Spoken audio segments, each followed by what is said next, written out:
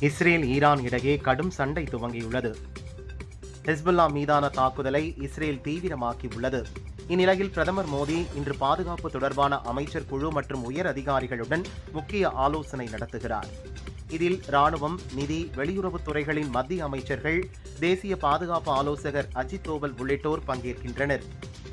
வானிலை எச்சரிக்கை மழை நிலவரம் உள்ளிட்ட தகவல்களை மக்கள் அறிவதற்காக ஏற்படுத்தப்பட்ட டிஎன் அலர்ட் மொபைல் போன் செயலி நவீன வசதிகளுடன் மேம்படுத்தப்பட்டு அறிமுகப்படுத்தப்பட்டது.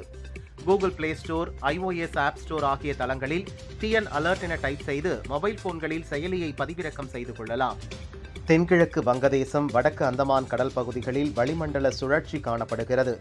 இதன் தாக்கம் காரணமாக வடக்கு வங்கக்கடலில் இன்று புதிதாக காற்றழுத்த தாழ்வு பகுதி உருவாக வாய்ப்புள்ளது. இதனால் தமிழகத்தில் அநேக இடங்கள் புதுச்சேரியில் இடி மின்னலுடன் மிதமான மழை பெய்ய வாய்ப்புள்ளது. செங்கல்பட்டு காஞ்சிபுரம் உள்ளிட்ட பதினேழு மாவட்டங்களுக்கு கனமழைக்கான மஞ்சள் எச்சரிக்கை விடுக்கப்பட்டுள்ளது. விழுப்புரம் மாவட்டம் விக்கிரவாண்டியில் வரும் இருபத்தி ஏழாம் தேதி தமிழக வெற்றிக் கழகத்தின் முதல் மாநாடு நடைபெறவுள்ளது. மாநாட்டு மேடை அமைப்பதற்கான பந்தக்கால் நடும் நிகழ்ச்சி புசியானந்த் தலைமையில் இன்று நடைபெற்றது. அதிகாலையில் நடைபெற்ற இந்த பந்தக்கால் நடும் விழாவில் அதிகளவிலான பெண்கள் கலந்து கொண்டனர். சென்னை விமான நிலையத்தில் போதிய பயணிகள் இல்லாமல் இலங்கை பெங்களூர் மும்பை மதுரை அந்தமான் உள்ளிட்ட மொத்தம் பத்து விமானங்கள் ரத்து செய்யப்பட்டன. சென்னை அப்பலோ மருத்துவமனையில் உடல்நலக்குறைவால் அனுமதிக்கப்பட்டிருந்த ரஜினி சிகிச்சை முடிந்து வீடு திரும்பினார். ரஜினிகாந்த் டிஸ்சார்ஜ் செய்யப்பட்டாலும் டாக்டர்கள் ஆலோசனைகளின்படி சில வாரங்கள் அவர் தனது இல்லத்திலேயே ஓய்வு எடுப்பார் என்று கூறப்படுகிறது. திண்டுக்கல்லில் ரவுடி இர்ஃபான் கொலை வழக்கில் கைதான ரிச்சர்ட் சச்சினை போலீசார் கைது செய்திருந்தனர். படுகொலையின் போது பயன்படுத்திய ஆயுதங்களை கைப்பற்ற மாலப்பட்டிக்கு அழைத்து சென்றனர். அப்போது மறைத்து வைத்திருந்த அறிவாளால் போலீசை தாக்கி தப்ப முயன்ற ரிச்சர்டை போலீசார் சுட்டு பிடித்தனர் ஹரியானா மாநிலத்தில் நயாப் சிங் சைனி தலைமையில் பாரதிய ஜனதா ஆட்சி நடக்கிறது.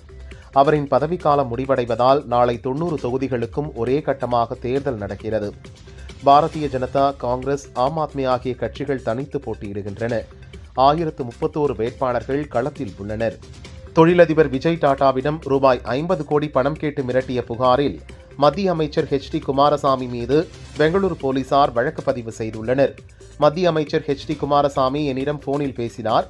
இடைத்தேர்தலுக்காக ரூபாய் ஐம்பது கோடி பணம் கேட்டு மிரட்டினார் என தொழிலதிபர் விஜய் டாடா புகார் அளித்துள்ளார்.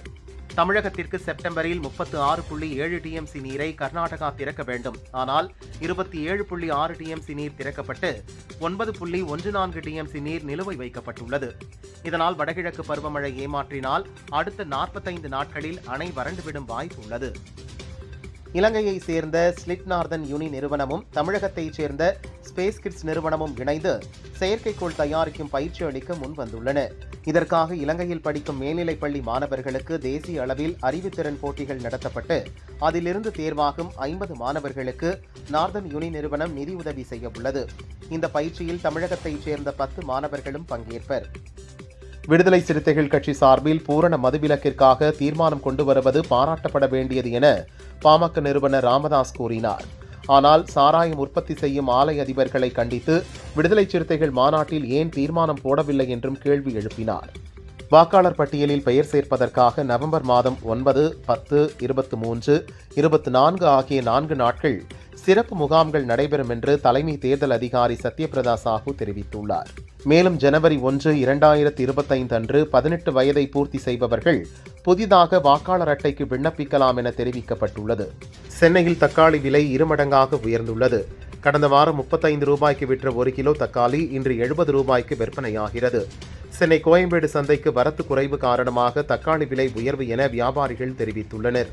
மழைக்கால நிவாரணப் பணிகளில் சென்னை மாநகராட்சியுடன் இணைந்து பணியாற்ற ஏற்கனவே ஆயிரத்து முன்னூறு தன்னார்வலர்கள் மாநகராட்சியுடன் இணைந்துள்ளனர்.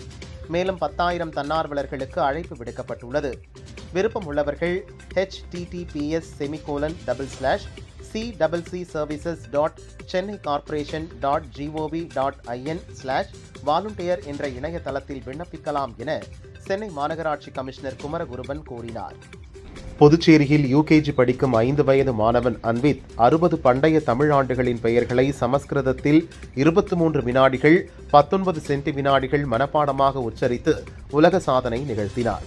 சென்னை அருகே மதுரவாயலில் நடிகை சோனா வீட்டில் மர்ம நபர்கள் சுவர் ஏறி குதித்து திருட முயன்றனர். வீட்டில் இருந்த வளர்ப்பு நாய் மர்ம நபர்களை கண்டு குறைக்கவே அவர்கள் தப்பி சென்றனர்.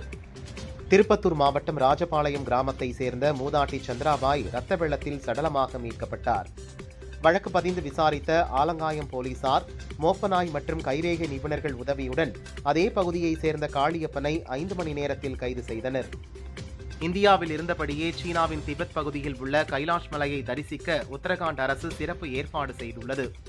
இந்தியா திபெத் எல்லை பகுதியான பழைய லிபுலேக் பீக் என்ற மலையிலிருந்து கைலாஷ் மலை தெளிவாக தெரிவதை கண்டறிந்த உத்தரகாண்ட் அரசு சுற்றுலாத்துறை மூலம் தேவையான ஏற்பாடுகளை செய்துள்ளது. அமெரிக்க தேசிய பாதுகாப்பு ஆலோசகர் ஜேக் சலிவன் மற்றும் துணை அதிபர் கமலா ஹாரிஸின் தேசிய பாதுகாப்பு ஆலோசகர் பிலிப் கார்டான் ஆகியோரை வெளியுறவுத்துறை அமைச்சர் ஜெய்சங்கர் சந்தித்து பேசினார். இருதரப்பு உறவுகளை வலுப்படுத்துவது பிராந்திய மற்றும் உலகளாவிய சவால்களை நெருக்கமாக ஒருங்கிணைத்தல் குறித்து இரு தலைவர்களும் விவாதித்தனர். சென்னை மணலி புதுநகர் ஐயா வைகுண்ட தர்மபதி கோயிலில் புரட்டாசி திருவிழாவுக்கான கொடியேற்றம் வெகு விமர்சையாக நடைபெற்றது. பக்தர்கள் திரளாக கலந்து கொண்டனர்.